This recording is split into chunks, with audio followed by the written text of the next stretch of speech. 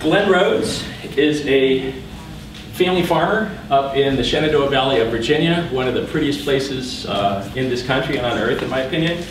Um, I first met Glenn through the uh, Biodiesel Forum and the Infopop Forum. Uh, those of you who have spent any time on that forum have seen pictures of his canola fields. Um, if you, uh, you might also have found a link to uh, see him and uh, some of your friends, I guess, uh, skiing behind a, a track hoe swinging around. Um, Glenn has been uh, uh, growing his own fuel for about seven years. Um, your family has farmed up there for five generations, 17 something? There's four generations on the farm today. So. There you go. Um, so that would get it up to nine, is that about right? Yeah. Um, I was uh, handed, able to get um, a pound of camelina seeds from John Osterhuis. I don't know if some of you know him. Out, he's out in uh, Washington State, I think. And I had it for about a month or two, and I realized I'm not going to plant these. Um, so I took a little vial, you know, just to have around, like like like we do with things, right? And um, sent the rest to Glenn, and you planted them.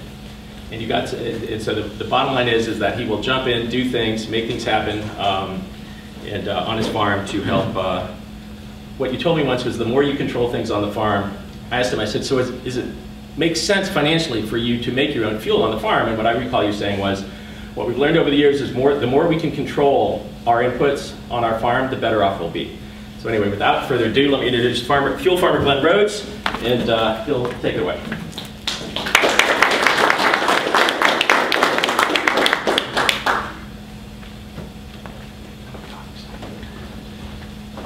Well, as Bob said, I'm Glenn Rodes, and I live in the Shenandoah Valley, Virginia. My family has been there since the late 1700s. Uh, when I was nine years old, we did move 10 miles away from the ancestral stomping grounds. And uh, just a little funny introduction, I was born into a Mennonite family. And most people don't say, well, go down to the Lutheran farmer the atheist farmer, but they always say Mennonite farmer for some reason when they talk about Mennonites or Amish farmer. So um, my family is still Mennonite. Uh, I attend a, non, a non-denominational church, so I'm kind of the, the black sheep of the family, as it were. Um, we farm about five to 600 acres. There's seven families making a living off of our farm, so what I'm telling you is not theory. We actually make a living farming, and so what we have to do has to work or we have to do something else. Um, it's one of those things, alternative energy has been a, a hobby of mine and a passion for a lot of years, and uh, I enjoy tinkering. Uh, so a few things uh, about on-farm production. Um, no man is an island, so even if you could make all of your own fuel and the economy went bad, you still have to interact with the society around you. So there's really no way you can be 100% self-sufficient all the time. And that's why communities form, governments form, so we can all work together. So there's there's no such thing, in my opinion, as being 100% self-sufficient. You can be more independent or less independent, but I don't think there's ever the true goal of being 100% uh, independent. Uh, so my little topic is going to be about what we do. Uh, I have no hard data per se. Uh, I'll answer any questions to the best of my ability. Um, my topic is, so you want to grow your own fuel. And I say, don't do it. Now I'll take questions. Um, and I, I, had that in the slide, but I took it out. So it is doable on a, a farm scale. Uh, people talk about the, the scale of economy. I like to talk about the economy of scale. I think there's a sweet spot on the low end and a sweet spot on the big end, and we can't do the big end. And so if you can do something on a small scale often with your own labor and your own time, it, uh, it makes sense. Um, we have a fair amount of equipment that needs to be fed and cared for. Uh, everything on there is diesel powered. There's actually two tractors that are missing since we did this photograph. So we have a fairly big fleet to fuel. We don't make all of our fuel, but we make a good percent of it. Uh, down on the end, there's some big equipment we do custom harvesting with. One machine will burn 30 gallons an hour. And so I don't feed that thing. You know, that, that goes down the road, harvest other farmers' equipment or other farmers' crops. Um, On-farm energy is nothing new. Um, it's been done for generations. We've gotten spoiled with cheap uh, energy. My dad said 30% of their crop production went into maintaining the, the horsepower. Uh, This is a neighbor of ours, they did a demonstration, that's a recent photo, and those big horses eat. Um, Again, on-farm energy, nothing new. Uh, A lot of people built farms on streams and they ground their own and worked for their neighbors. Um, On our farm, we've used all these crops as energy, barley, corn, uh, canola, firewood, um, soybeans. So there's energy all around us if we extract it. There's my dad, he's 85 years old, still cuts firewood. Uh, More, on-farm energy, it's right, right on the farm. Um, My interest in energy has been lifelong. This was my first biomass burner. This burns shelled corn. If anybody remembers $2 shelled corn, uh, it was a good energy source. Uh, And the fuel food thing, you could eat it or burn it. And that's, that's a beautiful thing about some of these crops. They can go into either sector. You can go into food or fuel depending on the economy. Um, The manufacturer of this burner was out of Canada. And if you put your phone number on something, I will call you. And so I learned to know the R and D guy in the back of the shop that built these things, and uh, he started importing oilseed presses on a, as a side thing, and he said, "You ought to get an oilseed press." And so that was my long slide downhill. Uh, this is another alternative energy project. This is a 30,000 square foot building. Uh, here in the front, these are radiant hot water tubes, and the corn burner was supplying heat to this building very energy intense. The temperature needs to be in the mid 90s, uh, eight times a year in there to start small turkeys. Um, after corn went nuts, um, some people can blame it on fuel, but I say it's just the corn price went up because of energy going up. Uh, we replaced the corn burner with a wood chip burner. This is a biomass burner. Uh, these are reclaimed pallets. I have a cousin in the business, and they grind all their pallets that are not refurbishable. So I pay about $600 for a tractor trailer load of wood chips and burn it to heat the water, and works well. Um, This is just again to show I'm interested in alternative energy. This is a a poultry litter burner. It was one of the first ones to hit a farm. It's a pilot project. This is the only uh, grant money we've taken so far. That's It's a what type of burner? a poultry litter burner. Oh, The- The bedding and waste out of the barn can be burned in there directly combusted for heat. And then the ash comes out as a high value, uh, about $600 value per ton in nutrients. Uh, This is all in early development. This unit still smokes too much to suit me, and probably the regulating authorities, we need to do emissions testing and submission down the road. We're on a temporary permit. It's an ongoing project. Just throw that up. And being the chronic tinker, uh, about 10 years ago, I tried to build my own litter burner, and uh, I was, I just love building stuff and messing around, so that's what So sorry, was, was that a successful burner or an unsuccessful burner? Um, It it burned successfully, but it still made enough smoke that I kind of gave up on it, and, uh, but basically, That's, that's what it's supposed to do? yeah, it's supposed, yeah. Oh. Uh, There's a, a chamber there to superheat the air, and it goes down these tubes and into the bottom, so I was trying to, to make a hotter fire to reduce smoke, but that has very little to do with biodiesel, but I just wanted to put that up there. Now, oilseed crops, um, canola, camelina, Bob, there's your camelina, and soybeans. We, I'll mostly focus on uh, canola because that's what we grow uh, a significant amount of. Other farmers grow soybeans, and that's not an unusual thing in our area. Every part of the country is different. The soy, uh, I'm sorry, the canola crop in our area is a winter crop. We plant it in the fall, it overwinters, and then we harvest it in about mid-June of the next year. So it is a good cover crop, and then we can double crop behind that. We can go in with uh, soy or corn after the canola. So it's, it's not a free crop, but it's, it doesn't take away from your crop rotation, it actually adds to it. Um, One other thing, when you start growing canola, your combine needs to be pretty much um, water, uh, watertight. I mean, it- you really uh, need to make sure your equipment, if you grow camelina, your combine needs to be airtight. You can see how the seeds are. Um, Here's canola in full bloom. These are the Blue Ridge Mountains behind us. Uh, Shenandoah National Park is right there. Um, That's a class one airshed for those of you to track these kind of things. Um, There's my house where I live. So growing these things is a livelihood, but it's also fun. It's just, it's a beautiful crop. People stop in, take pictures, engagement pictures, senior pictures, just more of our farmland here. That's a neighboring farm. We actually rented that land and put some canola back there. This is the crop uh, in the fall. Uh, There are a few weeds around here. When we typically plant this, we put down no herbicides. We are conventional farmers. Um, You might even call us factory farmers. We produce a fair amount of product. But we try to be somewhat environmentally conscious. We try to reduce herbicides, uh, use cover crops, uh, things that make sense. Uh, One thing about planting canola in the fall, even with their, with weed pressure, in the spring, it'll take off and kind of outrun the weeds. You might lose a little bit of production, but you save a lot on herbicides and, and all that goes with that. That's a, a young plant. Uh, In the fall, it'll, if it fills out like that, that's a very nice stand. Uh, There, it has a nice taproot on it. Those that- that are no-tillers, they use uh, different types of what they call tillage uh, vegetation, radishes and so on. So it has a nice taproot that helps um, basically till the soil or or aerate the soil.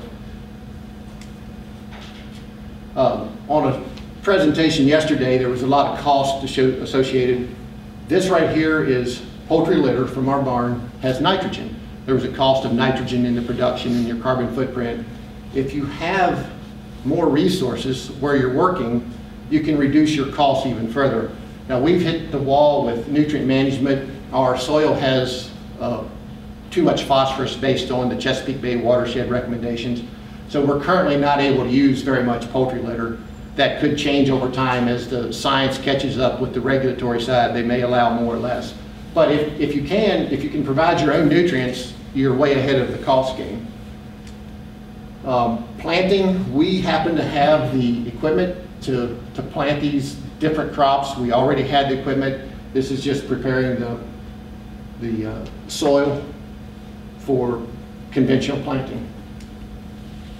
Planting canola, it's a very small seed, and this is a, a drill. Most of your large grain crops, or wheat, barley, you put your seed in this big box. This up here is a grass seed attachment, very small. You only plant three to five pounds per acre. The seed is tiny, and it's, it's difficult to get the seeding rate low enough. You can mix, uh, say, sulfur granules and stuff in it to bulk up the seed. Uh, We, there's a blurry picture of the seed. Um, The metering device right here, you have to shut down, uh, you can see this device. Typically, you could even run that, that cover wide open, but we have it just really pinched down tight. And at some point, you can get grinding of seed trying to meter it out at such low, low rates. Uh, We've since slowed the drill down to half, but anyway, planting can be a little bit of a challenge unless you have grass seeding equipment. The winter, the overwintering can be a little bit unnerving. The crop looks pretty sad uh, in the winter. The, the big leaves on the outside die down. Uh, You get a lot of damage on the first leaves, but as long as the center crown is viable, it's just the way it is. It, it, uh, there, you look at that and you think, well, that nothing will ever live. Does that sort of March there? Yeah, that would be about March. So there's just more, um, more sad pictures. Then soon it just, it comes alive and takes off. And uh, as I mentioned, it, it outruns your weed pressure for the most part. And this is just starting to get a few blooms on it. Um, It's just a nice thing to see in the spring when things start coming to life. The crop is kind of interesting. Typically, it's about three feet tall, but if you have good nutrition and good moisture, it will get very tall. There, it's a little over six feet tall on some of the top sprigs. The stalks, or if they have nutrition, are very, very big and healthy. Uh, As far as planting uh, population, I'm told that the, the plant is very forgiving on population. If there are few plants, they bush out and, and cover more area. So your seeding rate is not terribly critical. You don't want it too low or too high, but there's uh, you have a wide range of, of, of error if you, if you mess up planting, the crop will kind of take over and, and take care of itself. The little flowers on top form on the end of what will eventually become a seed pod. So you can see down here, this pod is already formed, and up here it's still making seed pods. That creates a challenge when it comes time to harvest. What will happen, the, the lower seeds will mature and get brittle before the top seeds dry down enough. And if you have no way to dry the seed, you really need to get it dry before it goes into storage or it will mold in heat. Um, There are ways around that. Um, This is the crop in uh, full seed pod form. Uh, The flowers are going, about ready for harvest, a few more weeks here maybe. Um, There again, just showing the, the vigorous crop. That's very good stand right there. And that's me right there. So it gives you an idea of the, of the potential of the crop. They don't shatter, uh, the, the older seed pods, they don't shatter? They will shatter. That's, that's the uh, dilemma when it comes to harvesting. If you do direct cutting, I'll talk about that in a minute or two. There's uh, kind of, a- again, a picture of the seed pod. It's a little bit blurry, but that's what I had to work with. Um, Here again, the seeds are in a little vertical, or they're just in a single file row, and there's just millions of seeds. Um, I want to talk a little bit about nutrition. Uh, In the biofuel business, we're all looking for the magic plant. We want camelina, jatropha, well, algae, whatever. And the, the goal is like, well, this will grow in marginal land. Well, canola will grow on marginal land too. See it right there? This, these plants were probably 100 feet apart. I'm not joking, in the field. That was right out by the edge where there was a driveway. So even if your crop will grow on marginal land, if you want good yields, you still need nutrition and moisture. And there would be some value in growing on marginal land. If you get marginal results, then you still have results. So there's, there's no bad way to do this, but if you want to produce a fair volume, you need decent land and decent nutrition.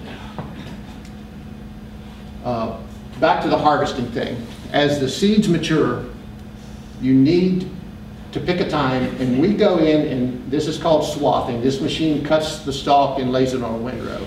And what that does, it stops the development of the plant, and it all dries down at the same time. So the, the mature seeds at the bottom have not shattered out, and the seeds at the top, even if they're slightly underdeveloped, they will dry down, and when you harvest it, you have a moisture content that you can deal with. We've since added a bin floor where we can aerate the seed, so it's not quite as critical. Another thing this does, it gives you a jump on the harvest season. If you want to double crop behind here, you can pick up a week, a week and a half of growing season by getting this crop on the ground. You Canadian farmers typically, I think, even swath uh, grain and so on because your growing season is short. Um, That swather is unusual in our area, but we already had this equipment for some of our custom harvesting. So there again, every situation is different. If you had to go out and buy all this equipment, it wouldn't be practical, but we already had it. There's our best crop we ever produced. It was about 58 bushels to the acre. We probably had closer to 65 or 70, but I will show you in a little bit some of the challenges with crops. Um, Just there's, those are windrows and they're, they're pretty good sized windrows there. There's the machine, just simply a cutter bar and uh, a draper belt that pulls it in and puts it, doesn't crimp it or anything like hay equipment. And just a fun note, Cyrus McCormick that developed the Reaper invented or designed the little cutter bar system, and that happened about 50 miles from our farm. And the actual bar itself, the cutter teeth, um, was manufactured in the town of Port Republic where I lived. He was having trouble and this guy had this water-powered slide hammer, so he rode his horse up probably 40 miles to get the sickle bar made. So this technology is really close to home. There is the seed on a windrow starting to dry down. How long do you keep it on the ground? Uh, typically about a week and a half. Uh, This slide um, is kind of interesting. The crop back here is still standing, and my nephew had cut some. This is on a windrow, and it rained and rained and rained and rained. So we ended up, and I'll show you a direct cutting this, and then we had some windrows here. So it just, it shows both techniques right there of leaving it stand and come in later with a combine and cutting it directly off the stalk. Um, There's direct cutting. Um, The unit just takes the whole stalk right as it stands and and runs it through the machine and thrashes out the seed. Is that a special combine? No, it's just a conventional John Deere, any combine will work. Uh, The only thing that we bought in addition to our existing equipment was this head right here, it's called a pickup head that goes on a combine. It picks this windrow up after it's, it's on the ground. Glenn, how did the uh, rain affect the drying of the, that, which you would, It delays it, it doesn't damage it as much as you would think, but it can lead to a little bit of shattering and so on because the seeds get more brittle as they go through a drying cycle. But it's not as, it's not as bad as you would think because when it's raining, you're just, you just feel all sick inside. But then sun comes out and pretty soon it's dried back down decent. Uh, The little teeth right there rotate on that belt, that's the pickup system. Well, It looked like it was elevated off the ground, sitting on the windrow on top of the stalks that were. It does. Um, In our area, that's how we do it. I understand in some areas where you have a lot of wind, they will literally take a roller and match that crop down into the standing stalks to secure it in place. Uh, The Canadians might know that. Um, That's my nephew, and whenever I say "I," it includes that boy right there and lots of my other family. So I don't do this myself, it's a family project, and the the alternative fuel is kind of my baby, but I have lots of help doing it. There's the seed coming out of the combine into um, truck. Just my, go- yeah, go ahead. how many acres? We typically plant about 60 acres of canola. And how many acres is your farm? We have about 600 acres of tillable farmland. And we could do more, we could do less, it's, uh, I don't know, it's just a number. My brother kind of does the crop rotation, and um, I will talk about crop rotation since it came up. They tell you not to plant canola more than every four years on a piece of ground. Um, That's to reduce the disease pressure, but I can tell you the first year, we had all of them. We had the, I'll show you some, we had sclerotinia and beetles and so on. So I'm not sure that the rotation recommendation is hundred percent, but you're better, the more space you can put between crops, the better you are just in the, in the nature. Is that straw in the background? That is hay, uh, hay. alfalfa hay, and my house is right up there, if anybody's keeping score at home. Uh, Handle it with conventional equipment, augers. Um, I did one time open the tailgate when I should have not opened it. It was an operator error, so I had about 50 bushels of scoop in. Um, You can buy a gym membership, or you can scoop canola. Um, Moisture. Uh, The little John Deere Moisture even has a, a thing for canola and rapeseed. I was kind of impressed by that. And there is 8.7% moisture, which is a sweet spot. They tell you under 10%, I can tell you drier is better. This was done on, on the windrow system. And of course, the obligatory picture of putting biodiesel into the combine. That's just, uh, it's still a thrill, I tell you. It's, um, Some of the problems with harvesting. There's my nephew taping up a seam on a wagon with duct tape. Everywhere there's a hole, this stuff will creep out. There's my other nephew taping up a little hole by the bracket up there. So you need a big old roll of duct tape and a caulk gun full of silicone caulk, and uh, just wear it, you'll need it. Now, let's get back up here. Problems with harvesting again, if you get moisture, rain, it, it can be a pain. This is in that field I showed earlier. You can see the rutting right there when he was even putting it on a windrow. Um, There's just not much you can do about it. It's just farming. You wait it out. Um, This was the picture I showed earlier, swathing. This, I think, is called lodging in the business. The plants were huge and beautiful, and you get a windstorm with some rain, and a bunch of it goes down. So it's tangled, it's, it's hard to get to, and um, it's not a real bad problem to deal with, but it's just another challenge that comes with, with growing crops. If they stay vertical, you're in good shape. If they go down, it can cause issues with molding underneath. Um, Damage, there you can see some shattering, this is probably wildlife damage. If you plant a crop that's of high value, there are more than just you looking to, to eat it. There's lots of insect pressure on any crop. Uh, Canola is in the, I think it's called a brassica, it's, it's a, in the cabbage and broccoli family. Um, Here is some shattering on top of the windrow. This has been laying there, you can see all these seed pods are empty. That could, this probably was caused by a small hailstorm. So it's when it's on a windrow, it's pretty vulnerable to, to any type of uh, storm or whatever. When, when the seed pods shatter, um, does that mean it just releases the seeds or the seeds are no good? It releases them onto the ground, so they're just, you can't Will it- will recover. it grow? Will it grow? It will sprout and grow, yes. So do you adjust your planting based on that? If you have a year like this, do you, do you try to, you know, in terms of your seeding rate, or you just go over all of it with it and you end up with some better places? Well, typically you plant your new crop on a different location, Oh, so, sure. so the volunteer seed is kind of, it can be a pain if it gets in your soybeans and so on. Um, A little thing about GMO, non-GMO, we have no problem planting GMO crops. Our canola is all non-GMO for several reasons. I have a nephew that is certified organic, and the stuff will interbreed with GMO really quickly, I'm told, even over miles. Um, Another thing, if you have canola ahead of a soybean crop, this volunteer canola will come up in, in your soybeans. And if everything is Roundup ready, it's just a pest.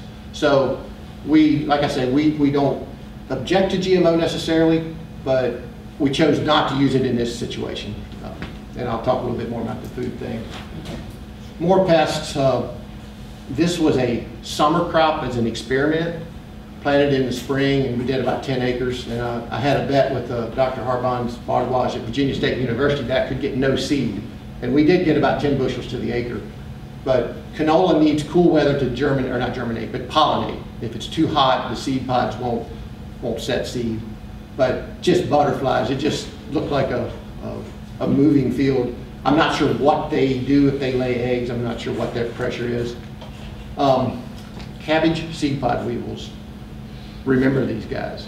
They have little beaks on them. I didn't notice till later that they're making more seed pod weevils right there. Um, they eat the um, juice out of the plants and they lay an egg in each seed pod or in seed pods. The seed pods, when the larva hatches, it'll eat about four or five seeds. Right there's a seed. It'll eat about a third of your crop. Typically it doesn't eat all the seeds, but um, it's kind of disappointing when 30 of your crop is eaten by bugs. One way you can uh, control these critters, uh, if you go in and plant the outside of your field, say two weeks early, I'm told that it's kind of a, a thing where the, the cabbage seed pod weevils come in, do their business, and they're gone, and then the rest of the field is kind of uh, protected from that. I'm sure there's a term for that, I'm not sure what it is. Uh, Trap cropping? Trap cropping? that, that could be. Uh, That's somewhat successful. You're going to still lose some of that crop and not all of it. Um, I'm told they're very mobile, and if you want to even just spray the outside of your field, a lot of times they move in and out so often that you will, you will kill the bugs during transit. Uh, We typically do spray for these guys, um, a pyrethrum-based product. And like I said, they showed up the first year, so a lot of these pests are just in the environment. And when you get a good host, um, deer pressure, we lose very little crop to, uh, to damage, but I had to take that picture that was looking out my house window. Uh, They do nibble on it, but it, it's not as bad as some other crops.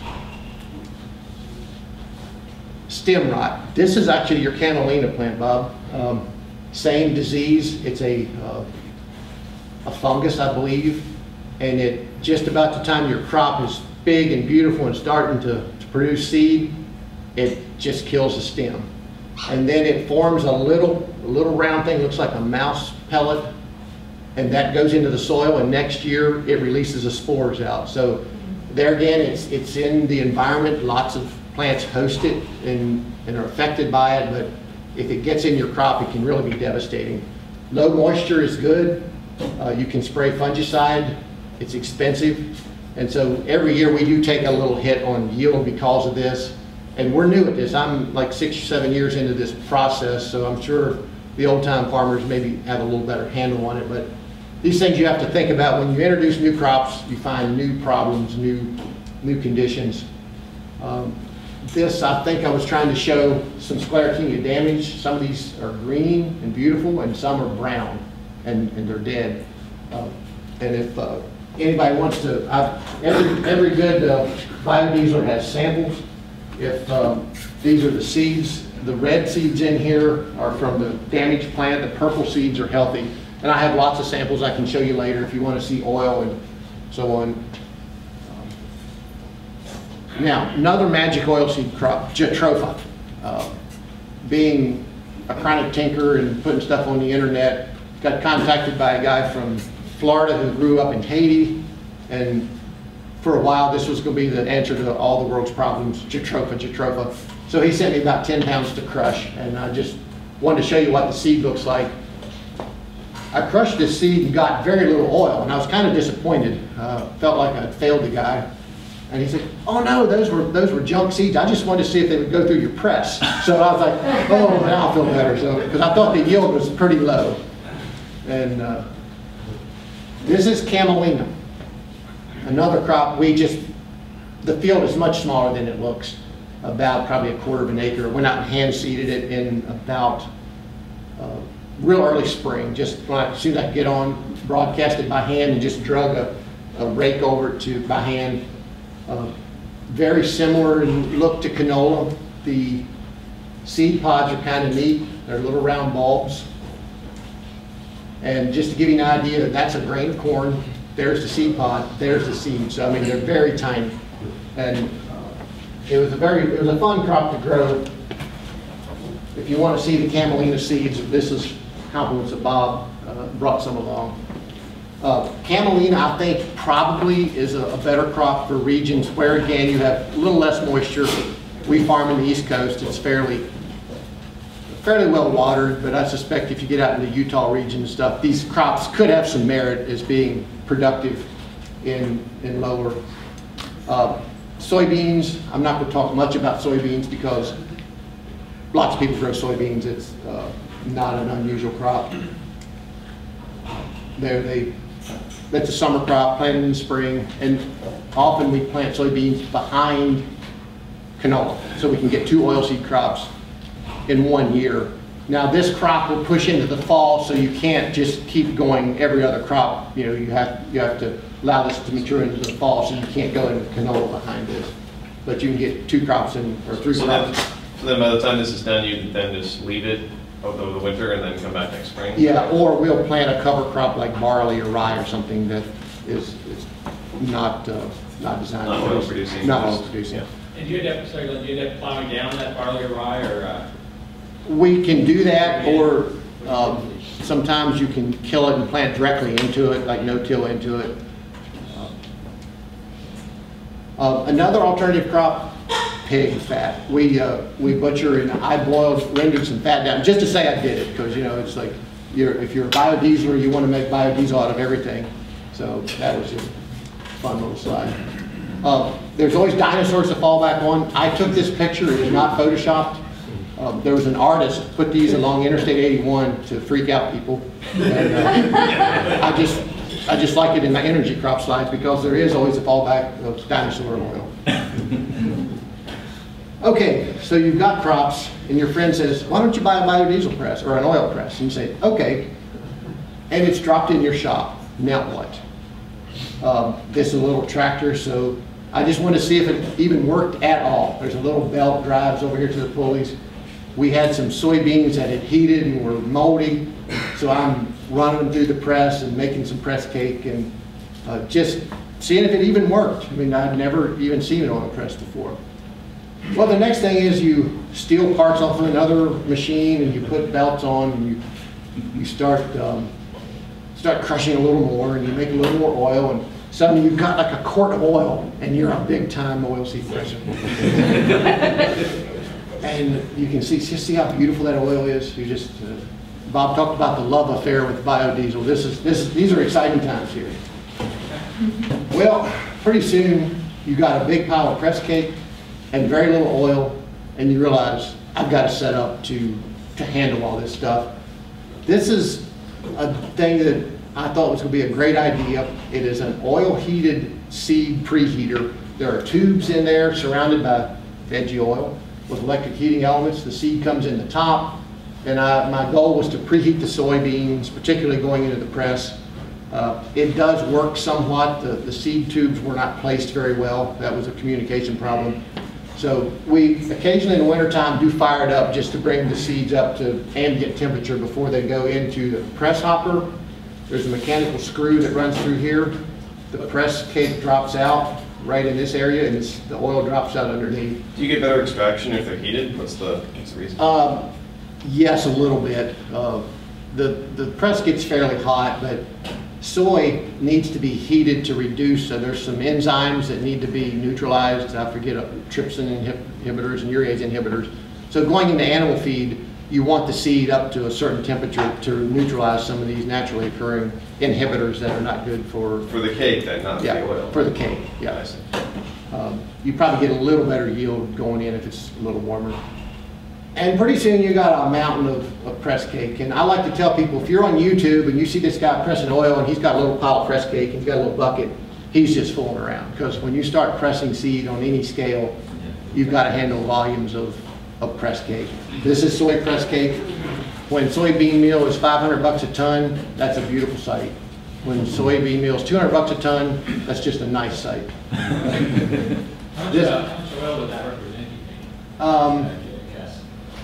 Maybe 50, 60 gallons, that's just a guess. Um, So the press cake, you can feed that to animals, right? We do. We, the, the press cake is, is high in uh, protein. It has some oil still in it, which is okay in the animal feed. Uh, With soybeans, you need to remove the oil to feed a full diet of soybean meal in a ration.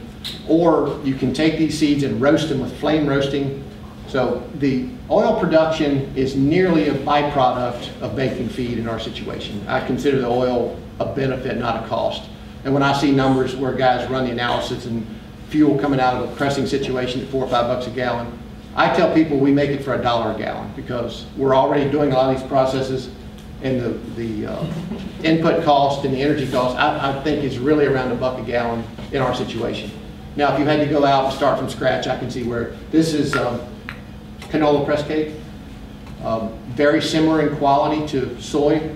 Um, Soybeans have about a gallon per bushel. Canola has two gallons of oil per bushel as a brown number.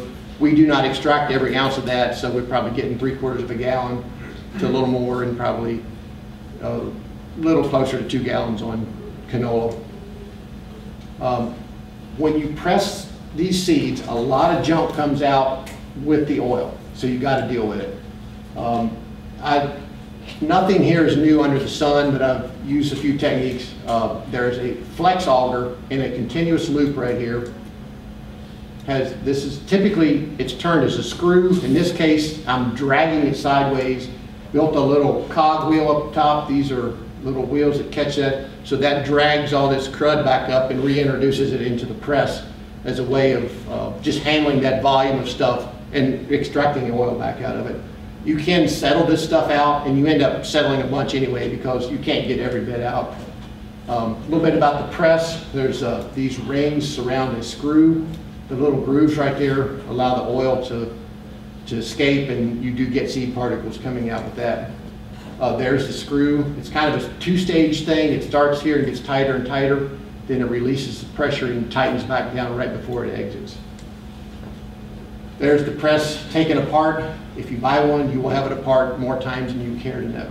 Is that American made or? This is Chinese made. Chinese. We paid about $4,000 for this. It does about four tons a day on a 24-hour basis. Uh, That's kind of the sweet spot in pressing. If you go much bigger, I think you lose some efficiency, and if you go smaller, you lose throughput. It's just observation. If you need more capacity, you just should add more presses, I think is the way it works on this scale. Um, Your little press soon turns into this. Um, We started out, um, had oil. Woo-hoo, now, now what? So these are all 15 gallon drums of oil, my little settling barrels. And then as you see, pretty soon you go to totes. And you cut the tops out and you settle in totes and you pump here and you pump there. And um, it's a growing process. So now you've got oil. What do you do with it? Bought a, a centrifuge bowl from Simple Centrifuge. I know there's some centrifuge people around here. Uh, noticed splashing. Oh, what do I do here? I noticed splashing, and I saw little particles on the lid. So, being the chronic tinker, I made me a little splash guard. This fits down inside the bowl, and uh, that sort of worked to prevent splashing. Um, I love this picture. You can see the oil being introduced. Uh, you can see these splashings come out. They're fairly effective. Um, Called the guys at Simple Centrifuge, and they sent me a, a new prototype they were working on. Um, Built a clear lid, because I've got to know things. Built a clear lid to replace this lid, and took about 500,000 pictures, I'm exaggerating slightly. One thing I find very entertaining, if you'll notice, this, this centrifuge is running that way, and the oil coming out here is actually moving in the direction, this is uh, some dye in this oil, is moving in the direction of the rotation. And I assume that the outside, due to geometry, the oil is moving faster, and so it's dragging oil with the other. And so on these open bowls, if you don't get the oil to the back of this bowl, you're not gonna get near the, the separation, rather than just having it come straight up and out the, out the bowl. I've taken a lot of videos, and I've got some stuff posted on YouTube if you are interested. There's just a, a visual of the oil. This is water, a ring of water, the oil coming out. Um, Food versus fuel. I've got a nephew that bought a small press. He is certified organic, which is not real easy to do in canola, or it's not done that often. He was selling canola oil. It's a beautiful oil. It's unbleached, undegummed, uncaustic stripped, all the beta carotene still in it. Uh, When you pop popcorn in it, it makes it yellow because of the color. Excellent salad oil. I mean, it just, it makes salad even better. Uh, It does have a taste to it. You probably wouldn't want it in your eggs, but uh, it works very well. So with the food versus fuel, you can go either way on these things. We go fuel because our barn is open and we're just not set up for it. Um, I'm not going to linger on biodiesel processing much because you guys know how to do this. For those of you that hate plastic tanks, enjoy. Um, I I got this from uh, Dean Price. He bought it, sold to him. It's a 2,000 gallon day processor, has no heat in it, Chinese sprinkler pumps. Uh, They never even used it because they found out after the fact that it wouldn't work. So we traded canola seed for this. I put new pumps on it, eventually put heating elements in. I know you're not supposed to do that. Um, Good pumps, replumbed it. Is there a brand on this machine? What you say? A brand on this machine? It was built by Dogwood Energy out of Tennessee. Know very little about them. I think they're long gone. Uh, Little things like putting LED lighting behind your tank so you can see your glycerin layer when you're doing uh, two-stage processing. Uh, Little side note, I'm going to uh, two-stage processing using sodium methylate, so that, there's a whole debate about dropout, but there's a little test tube. Um, The two fuel- stage, just to throw it out there for people who might be interested, uh, you're doing the no titration method. Yeah, no tri, no titration. You put your, about eighty percent of your chemical into your oil without titrating, just as it was new oil. Then you process it, you take a sample, and I do a ten ninety test, because the math is easy. So instead of twenty-seven three. Yeah, so, and so if I get one milliliter dropout, I say there's ten percent unreacted oil in the fuel, and then you go back in with a precise amount to react ten percent. If it's twenty percent, two milliliters would be twenty percent. And so I know there's a debate what the dropout means, it just works. And it's primarily, uh, then more forgiving if you've got a little bit more moisture in your piece. Yeah, if you have wet oil or wet uh, methanol, that all goes out with your glycerin on the first mix, and you don't have enough catalyst in there to make a lot of soap on that first. So it's, a- it's a European method I learned about. Um, This is just a little fueling station pump. I know that came up in some of the emails. That's uh, your redneck farmer. And I do have it bonded because you do get a little bit of static that came up in, or not bonded, but grounded. Um, Methanol recovery. Um, I'm about out of time here, but meth- the glycerin stream is a problem. As you know, you've seen the wall of glycerin. Built a methanol recovery unit. I have um, flat plate heat exchangers that I had from another project, and I fill it a little over half full, heat it. The vapors come out. I have a vacuum pump on it. I do not vacuum distill. I was planning to, but I use the vacuum pump to move the to move the liquid in and pressurize to move out. So there's a series of valves up here that uh, I changed to pressurize and vacuum the tank. It's just a big super sucker. Um, I don't know what my methanol purity is, uh, probably around 98%. Um, I could have put my finger on top and pushed that down, you wouldn't have noticed, but uh, that's, that- I've just got lucky, you know, it- it's just, that's out of the glycerin byproduct. The glycerin, this is a big mixing wagon that we mix our cow feed in. We take the, either press cake or silage, mix it in here while it's hot, and then we can put it out on a pile, and we can dip it up and add it into our rations in an easy fashion, rather than just having a big old solid chunk of glycerin. Of course, there's soap, everybody needs soap, and my dear old mother, she crochets these scrubbies out of nylon netting, and it's a great thing to clean your hands. She makes them for dishwashing, but I keep one by my sink, and when your hands are greasy. Um, A little bit about safety. Uh, I like air stuff as much as possible, and I know when I say safety and have plastic tanks, you can discount what I say by about 30%. Um, Put a, when I got this, it had an electric mixing motor on the methoxide tank. Um, This is air diaphragm pump, there's the mixer. I did not cut this, by the way, it came that way. Um, So there's ways to, to do things a little more safe. Here's a spill cleanup, just a, a grease trap from a shop vac. Um, You need lots of oil absorption around because if you haven't spilled something yet, you will. Um, Timers, I've learned and bought these timers off a surplus center for a couple bucks. If you know your tank takes 30 minutes to transfer, dial it in, you can walk away, it shuts down. Um, This is a little bit more on safety. My heating elements are supported really well on top. I know it's not ideal, but that's what I deal with. Float switches. If you have not overfilled a tote processor, you will. Um, This is just a simple movable float switch. If I'm transferring, it'll turn my pump off for me. Um, Wildlife, it's kind of fun to grow this crop, finches. Um, Birds nest in it. It's just neat. uh, It attracts your nephews for photo opportunities. Um, More wildlife. Bees, bees love it. Um, Wood chip filtering, I won't waste a lot of time on that, but this is my dry wash system. We eliminated using water. And then the wood chips, um, this is sawdust. Go into my loader bucket, change once a year, do about six, seven gallons. They go into my wood chip burner, so there's no waste stream there. Um, Science fair projects for your daughters, uh, super deal. She got a silver at this science fair.